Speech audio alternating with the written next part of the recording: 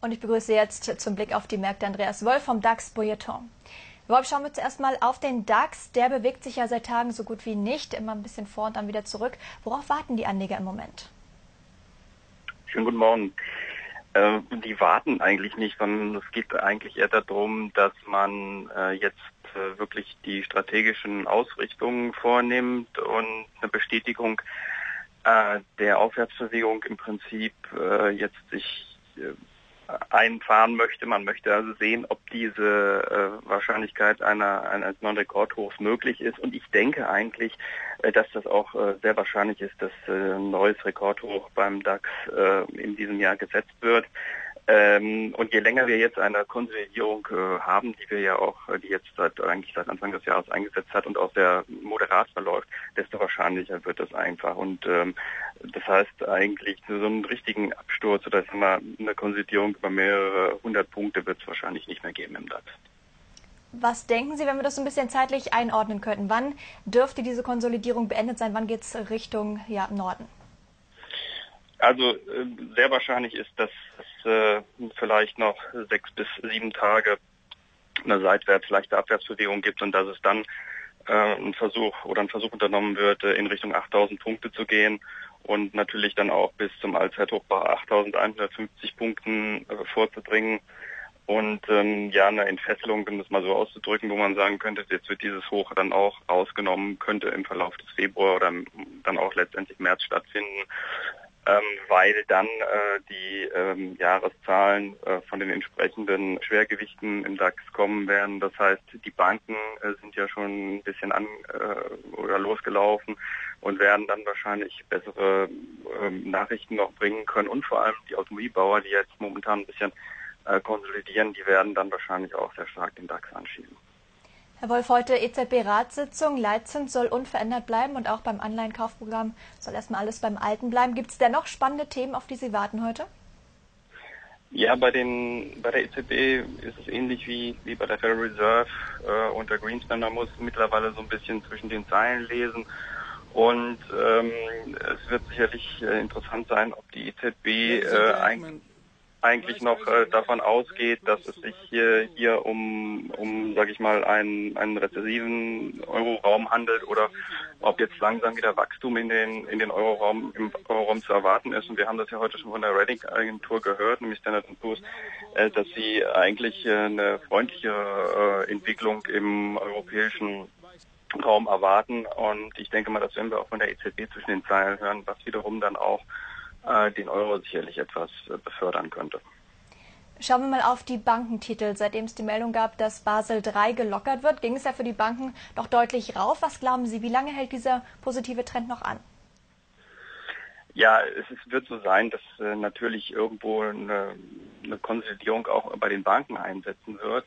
Allerdings ist das eben eine, Bremse, die hier rausgenommen worden ist für die Banken, die bisher vom Markt noch gar nicht in dem Maße antizipiert worden ist. Das heißt, die Banken haben jetzt Möglichkeiten durch diese Streckung äh, der Eigenkapital, äh, des Eigen der Eigenkapitalunterlegung von vier Jahren mehr, äh, die im Markt eben einfach nicht noch gar nicht so richtig quantifizierbar ist. Und dieses Kurspotenzial, was sich daraus wieder ableitet, ist doch relativ groß. Und das zeigt sich eben ganz langsam. Jetzt, das heißt, es sind auch Hürden, zum Beispiel der Commerzbank oder der Deutschen Bank überwunden worden, die eigentlich äh, vorher größere technische Hürden waren. Und es ist auch davon auszugehen, dass die Banken diese Entwicklung über das Gesamtjahr hinweg nach oben fortsetzen werden. Dann schauen wir nochmal auf einen weiteren Höhenflieger praktisch. Die T-Aktie, die war gestern Topwert im DAX. Die Telekom erobert im Moment die, den Breitbandmarkt. Aber ist dieses Thema tatsächlich kursrelevant? Ich sage mal so, es ist äh, ganz nett, dass man von der Telekom auch mal wieder was Positives hört und vor allem in dem Sinne, dass es äh, äh, dass man sich mit Technologien oder ja mit äh, Geschäftsbereichen beschäftigt, die tatsächlich ähm, äh, Wachstum versprechen, also eine Perspektive aufzeigt, in der man nun wirklich Geld verdienen kann, äh, und zwar unter realistischen Bedingungen und nicht unter träumerischen Bedingungen, wie man das beim Festnetz immer so noch im Hinterkopf gehabt hat. Und allein dafür sind äh, Investoren und Anleger dankbar, dass man vielleicht jetzt nochmal äh, Dinge angeht mit dem Potenzial, was die Telekom nicht nur an Kunden, sondern auch an Technologie im Hintergrund hat, an, an Marktpräsenz. Äh, dass äh, das sicherlich auch die Telekom-Aktie so langsam aber sicher mal aus ihrem tiefen Schlaf wieder erweckt. Äh, natürlich ist der Weg äh, zu bestimmten Kursregionen noch weit, aber wir haben, sehen das auch aktuell an anderen Aktien, die ebenso im Tiefschlaf gewesen sind, dass es da durchaus relativ zügig dann äh, in Kursregionen gehen kann, wo man gar nicht geglaubt hat, dass die Aktien die noch erreichen kann. Also bei der Telekom bin ich eigentlich auch optimistisch, dass sich das in nächster Zeit dann nach oben äh, entwickeln wird. Thema Geld verdienen. Sie haben es gerade angesprochen, das ist im Moment besonders bei den Anleihen schwierig. Viele Experten verzweifeln auf der Suche nach Renditen. Auch bei den Lebensversicherungen sieht es im Moment ein bisschen ja, schwierig aus. Sollte man diese Anleihenform im Moment eher mal links liegen lassen? Naja gut, wenn es sich alter, wenn sich nun Alternativen ergeben, der Aktienmarkt bietet sie momentan auf, dann ist klar, dass die Anleihen, äh, dass die Attraktivität des Anleihenmarktes äh, darunter leiden wird, äh, zumal äh, die Risiken, die ja die Anleger in den Anleger, äh, die Anleger in den Anleihenmarkt getrieben haben, also die Euro-Schuldenkrise und ähm, letztendlich auch das schwache Wachstum in Europa äh, jetzt äh, mehr an Bedeutung verlieren. Und somit ist natürlich dann auch äh, die Wahrscheinlichkeit hoch, dass man äh, bestimmte Potenziale aus dem Depot, es mal so auszudrücken, äh, umleitet vom Anleihenmarkt dann in den Aktienmarkt. Das ist also sehr offensichtlich, eigentlich schon seit längerer Zeit offensichtlich, dass gar keine anderen Alternativen den äh, Investoren bleiben und entsprechend äh, ist dann auch zu erwarten, dass der Boom am Anleihenmarkt abebbt und da einfach jetzt mal ein bisschen Ruhe einkehren wird. Also rein in den Aktienmarkt. Was würden Sie den Anlegern empfehlen, die so ein bisschen mehr auf die Sicherheit schauen wollen? Auf welche Branchen sollte man da setzen?